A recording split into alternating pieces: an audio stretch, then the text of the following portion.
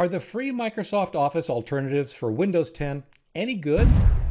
Hi, everyone.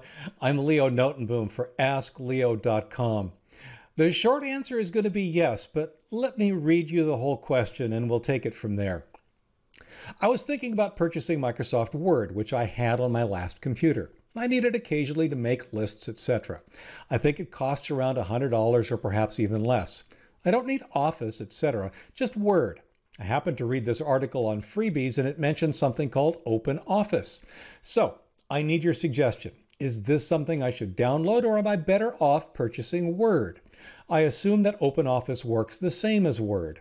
In fact, perhaps you know of other free alternatives. And indeed, there are now many alternatives, many of them free, to Microsoft Office, including Microsoft Office itself. Let me explain. So, the number one alternative, the number one free alternative that I recommend these days is, in fact, Microsoft Office Online. It is completely free. The only thing is, A, you'll need to be online, it's an online service, and B, it's not quite as feature rich as the installed applications that come with Microsoft Office.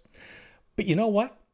For most people, that latter point just really doesn't matter. The kinds of things that we try to do with our Word documents, our Excel spreadsheets, our PowerPoint presentations, rarely do they exceed like 80% of the product's features and functionality.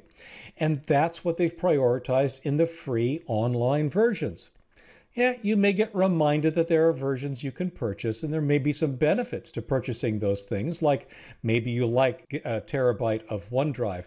But if you don't need any of that, and you want something that is as compatible as possible with Microsoft Office, Microsoft Office Online is probably the way to go.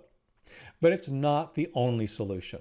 The number two solution, I'll say in popularity, just based on what I've encountered over the past couple of years, Google Docs. It's essentially the same idea. It's an online service with word processor, spreadsheet, uh, presentation software, equivalent to Microsoft Word, Excel, and PowerPoint, except it's all under the Google umbrella. With your Google account, and if you've got a Gmail account, you've got a Google account, it's all free. There's no restrictions. And again, they're very, very powerful pieces of software. The only real requirement, of course, is that you be online. And even there, they've got some shortcuts or some things you can install in the Chrome browser that, in theory, would let you work with things offline. Um, in reality, I recommend if you're going to go down this path, you assume from the start that is primarily an online only option. Now, I will have a few things to say about compatibility when I'm done listing some of the additional alternatives. The top two alternatives for an installed equivalent to Microsoft Office are, respectively, OpenOffice, which you mentioned in your question, and LibreOffice. Now, the difference between the two is, I'll just say subtle. Um, it really doesn't matter which one you end up picking. LibreOffice seems to be uh, updated a little bit more often. It's a fork or a copy of OpenOffice from a few years ago. I understand it was a political thing. Bottom line, though, is that these are both very powerful, very complete, installable options as equivalents for Microsoft Office. In fact, you'll often find, I think it's LibreOffice more often these days, is pre installed in most Linux installations. Both are completely free, both are very powerful, and both are really good alternatives to Microsoft Office if you need something installed. Now, there's a but, and this but applies to Google Docs, LibreOffice, OpenOffice, and in fact, many of the other alternatives that might be out there. And I'll have some more of those in a moment. It's compatibility. Now, the good news is that all of these programs can pretty much open each other's documents without problem. By that I mean if somebody gives you a Microsoft Office document, you can open it in Google Docs, in LibreOffice, in OpenOffice without a problem. Similarly, you can save as Word format or Microsoft format documents from any of those programs. Later versions of Microsoft Office will even open the default versions of LibreOffice and OpenOffice documents. So there's a lot of open compatibility. The problem is that they look and feel different, not only in how you use them, the details of how you use them, but in the way your documents get formatted. So, what does that mean? That means that without making a single change, if you in Microsoft Office take a document and print it, then take that same document over to an open office, for example, and print it, the result will be different. It just will be. The only time that's really an issue is if that look and feel matters and you're exchanging documents back and forth with users of Microsoft Office. Then it may very well be that only Microsoft Office or Microsoft Office Online will do. But you need to be very aware that the documents will potentially look different when exchanged between the two.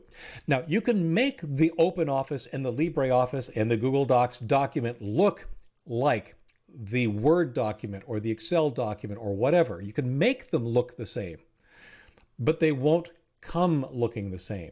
And if you do make them look the same and send them back, guess what? They're going to look different over on Microsoft Office. That's why this compatibility thing can be a sticky issue for people that are exchanging documents with Microsoft Office users frequently. But if you're just doing this for yourself, if you're just doing things to save documents, if you're working in an environment where you're not exchanging documents with Microsoft Office users, then absolutely any of these alternatives, all completely free, will do well.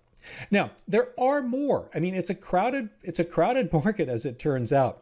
Those are probably the most popular, the most common solutions, but there are always others and there always seem to be more coming on board.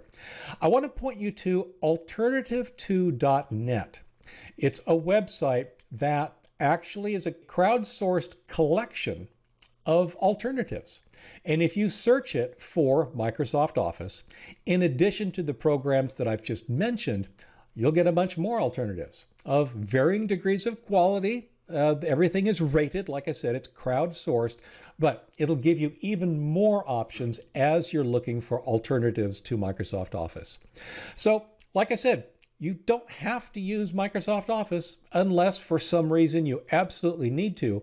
There are plenty of good alternatives completely free. For the article on which this video was based, including related links, any updates and comments, of course, visit askleo.com slash 13647. I'm Leo Notenboom. This is AskLeo.com. Thanks for watching.